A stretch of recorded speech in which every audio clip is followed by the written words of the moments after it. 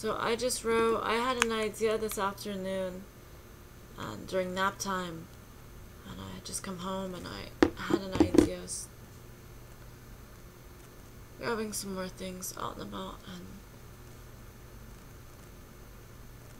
I decided, being that it's a Saturday, and Saturdays when I do my creative marketing and my book writing, all the kind of creative stuff I like to do for myself.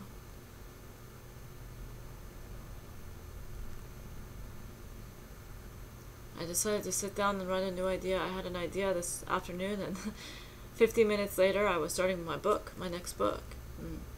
And it is called Dear SNA, a collection of short stories about my animal friends. And I put in, uh, I don't know exactly, but about 70 pages worth in one installation. I just had this idea today. And, uh, you know, of course it's a rough draft. It's just, I'm just, I, I literally just love it. I don't flesh these things out. And, uh, more than an idea, no.